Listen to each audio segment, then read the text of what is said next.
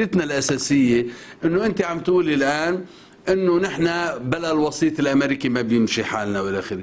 نحن أساسا نحن أصحاب الخطأ بالموضوع. لأنه أساسا ما كنا بعاجزه للوسيط الأمريكي. شو كنت بتعمل؟ فينا نعمل نروح للأمم المتحدة. فينا نروح للتحكيم الدولي. هذا كان المفترض يكون خيار أول. هذا ما صار. نتيجة التباسات معينة نتيجة حسابات معينة نتيجة وساطات معينة ماشي الحال مين عم بتحمل المسؤولية؟ عم حمل مسؤولية كل الأطراف بدون استثناء كل من له علاقة بهذا الملف من أول ما بلش لحين ما هلا انتهينا حتى فيه الرئيس بري؟ حتى الرئيس بري شو يعني شو وين غلط؟ يعني حط اتفاق إطار وين ما عم؟ بحكي أنا ما عم بحكي عم بقول بالأصل الاصل okay. الأصل كوي- كان يجب أن يذهب لبنان إلى ما يسمى بالتحكيم الدولي. في ما ما ينطبق عليه قانون البحار. طبعا هذا أقوال مختصين. أنا مش عم بتفلسف هلأ لحتى يطلعوا يقولوا إنه أنا عم عم بحكي وعم بنتقد الرئيس بري. أنا عم بنتقد كل اللبنانيين. وعم بنتقد حزب الله. وعم بنتقد الرئيس بري. وبنتقد الرئيس عون.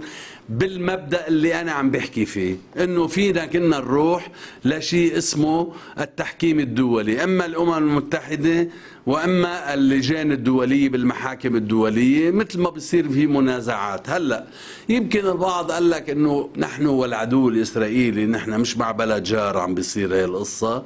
في عدو إسرائيلي أمريكا إلى يعني يد بهذا الموضوع فكان لابد من الاستعانة بأمريكا. مش استعانوا بالشيطان لحتى يتخففوا من الشيطان ال- ال- الأكثر منه. ماشي الحال.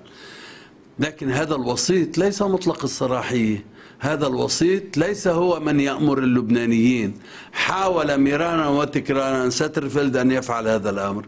هل أن يفعل هذا الأمر. شنكر وبعدين هلا اجينا جريندايزر هذا الأخير هوكشتاين مش هيك؟ يا أستاذ فيصل إنه إنه هالتعابير يعني طب هيدا بالآخر وسيط أمريكاني بملف أساسي إيه، شو وأول المشكلة؟ ما صارت خبرية دغري إنه لا بدنا الوسيط ترجع وبدنا طب بدكم إياه هون وبتهاجموا آه، شو عم كمان. عم لك أنا قلت لك أنا- أنا عم لك، عم لك بتهاجم؟ قلت لك كلبنان. صار في خطأ ورحنا في هذا الخطأ تحت عنوان إنه الأمريكي هو من لديه القدرة على التعامل مع هذا الموضوع باعتبار الإسرائيلي ربيب له مش هيك؟ وقبلوا اللبنانيين بهذا الموضوع. أول شيء حزب الله ما له عليها لا بالأمريكي ولا بغير الأمريكي. أصلا هو خارج كل الموضوع جملة وتفصيلا ليس له علاقة ما بالملف. وافق يعني هو كان ضد إنه يكون في آه، مفاوضات غير مباشرة عبر الوسيط هو الأمريكي ضد. أي نوع من أنواع المفاوضات. بالنسبة لحزب الله. بس إذا كان لابد من استنقاذ الحق اللبناني عبر المفاوضات الغير مباشرة سكت حزب الله واعتبر أن هذا الأمر من اختصاص الدولة اللبنانية. وكان أعطى الرئيس بري مطلق الصلاحية بداية ثم أعطى الرئيس عون مطلق الصلاحية. لم يتدخل في التفاصيل بهذا الموضوع. عشر سنين أول مرة رحنا مدري تسع سنين وشوي وهلأ سنتين وسنتين وشوي مش هيك؟ راح يصيرنا 12 سنة نحن عم نفاوض. وإسرائيل نقبت وشالت وحطت وصارت على باب الاستخراج. ونحن السنيورة والصفدة مدري شو عملوا معنا بقبرص مدري شو عملت قبرص معنا إلى الآن ما حدا حقق فيها. ولا حدا حكي فيها ولا حدا أسارها لا بمجلس النواب ولا أمام اللجان المختصة. وإذا طلعت حكيتي بتطلعي بيقولوا لك أنت عم تخوني. في خلل ما صار باتفاقية قبرص يطلعوا اللبنانيين يعرفوا شو شو اللي صار بالضبط. ليش الإسرائيلي كان له الباع الطويل في ابتداء العمل؟ ونحن بعدنا توتال إلى الآن بشهادة رئيس الجمهورية لم تعطينا التقرير ما الذي رأته في بلوك رقم أربعة يعني إلى الآن إذا بتسألي جبران باسيل ورئيس الجمهورية وكل المسؤولين اللبنانيين إذا عندهم تقرير عن شركة توتال تبقي ذكريني. ماشي؟ وهلأ نحن مش عملنا consortium ومش عارف شو بسموه هذا consortium، إيه. وما بعرف شو. ورجعنا جددنا لتوتال مش هيك؟ ولا شركة حتشتغل بلبنان. ولا شركة. إلا أوكي. أن عم بتقلي. إلا أن إلا أن يصل الإسرائيلي عبر الأمريكي إلى ما يريد لأنه عمليا الآن يقودون حملة دولية على بس لبنان. رئيس لا ي- الجمهورية بكلمته الأخيرة قال إنه آه، رح نكون أمام آه، يعني يا اتفاق يا أمر إيجابي بملف الترسيم جيد. لما فيه مصلحة لبنان جيد. يعني هيدا كلام لرئيس الجمهورية مش إيه. ل- مش معناتها كلام رئيس الجمهورية يعني كلام منزل من مش السماء بقول منزل بس إيه. هو والمفاوض هو هو. لأنه ضنين بحق اللبنانيين وعنيد بحق اللبنانيين حاول ويحاول ويتفاءل هذا واجبه واجبه رئيس الجمهورية عليه واجب أن يكون في خدمة المصلحة اللبنانية إلى أقصى الحدود. معقول هالتفاؤل مش مبني على معطيات ليطلع رئيس الجمهور يقول هيك؟ معقول يعني عم إنه شوف. يجب أن يتفائل شوف للتفاؤل؟ شوف نحن فتنا بمفاوضات طويلة مش هيك؟ وصلنا بالجولة الخامسة إلى طريق مسدود مش هيك؟ انسحب الوفد اللبناني والوفد الصهيوني قال ما بيوافق على الطروحات اللي طرحها وفد التقني اللي كان عم بيقوده العميد ياسين مش هيك؟ ووقفت الأمور. وعدنا من جديد. تحركت الأمور ايمتى لما إجت Energean Power مش هيك؟ تحركت بشكل طبيعي لأنه هوكشتاين فل وما عاد اجى ولا اتصل ولا عمل ولا شال ولا حط هذا الوسيط الأمريكي. إجت ال Energean Power.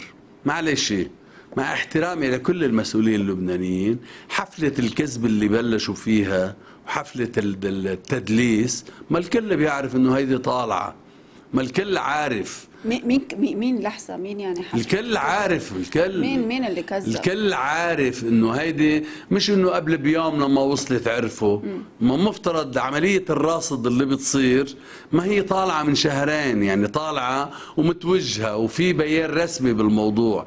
أما الناس نايمين أما بدهم يفكرونا إنه نحن يعني إنه نحن هالقد سدج ما فينا نتعاطى مع الحدث لحظة وقوعه.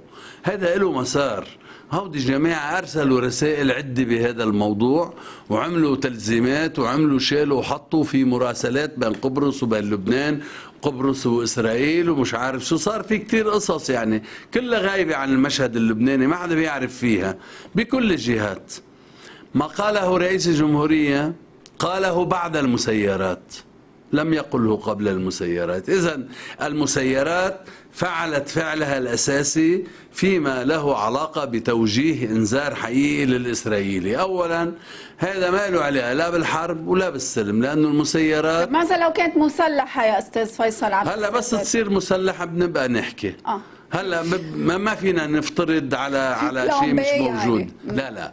شوفي طالما أن هذا لبنان محكوم بمنطق أن للبنانيين الحق بالدفاع عن أرضهم وسمائهم وثرواتهم بكل ما أوتوا من قوة.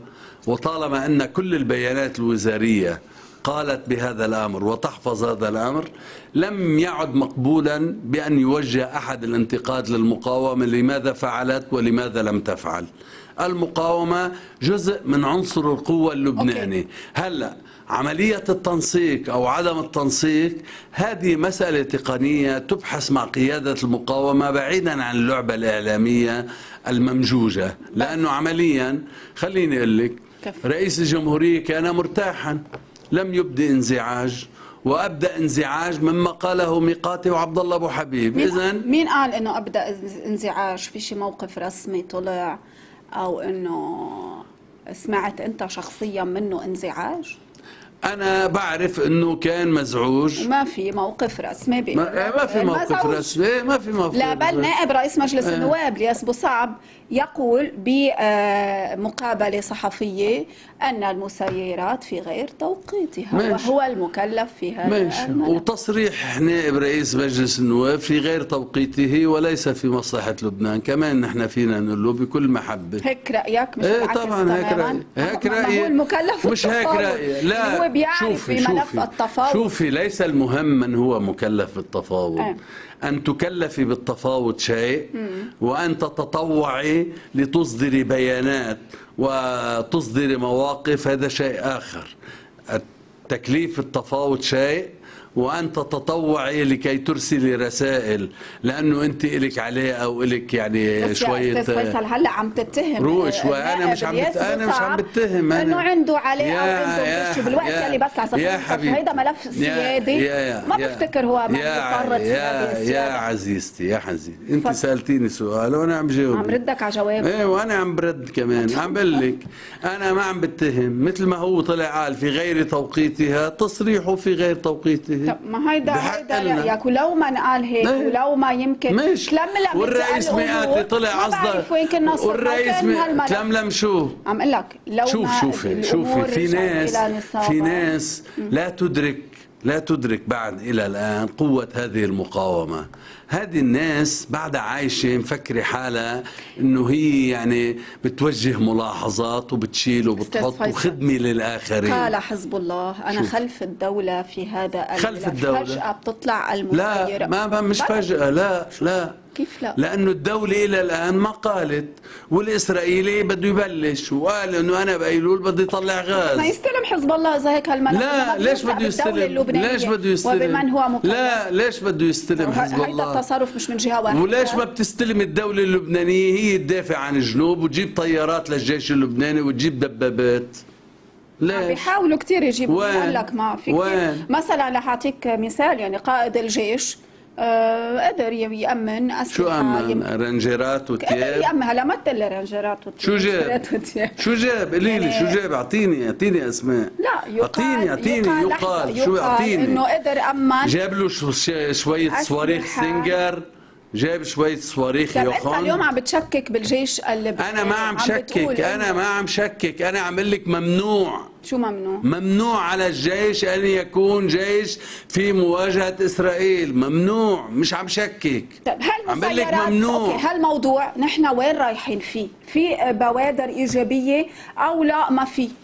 قبل ما اطلع بريك لأنه تاخرنا. ما بعرف أنا يعني أنا لست من يقرر إذا في بوادر إيجابية أو. لا. يعني أنا عم بقول لك إنه رسالة المسيرات فعلت فعلها أربكت العدو الإسرائيلي طلعوا حكوا قالوا اللي يجب أن نصل إلى تفاهم مع لبنان.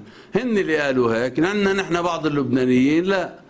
هن بدهم مصلحة إسرائيل مش مصلحة لبنان اليوم الشرق الأوسط الصحيفي فيصل، العظيم مين بده مصلحة إسرائيل؟ لك. بس هيدا كلام- هيدا. كلام خطير. اسمعي أنا لك يا يا. سيدتي وكلام المعنيين لا كلام لا مصلحة خطير ولا إسرائيل؟ شيء مثل ما عم لك لا خطير ما لا كلام. يا سيدتي؟ أنا عم القوات اللبنانية ب- بموقفها أقرب إلى إسرائيل من مصلحة لبنان ماشي يا.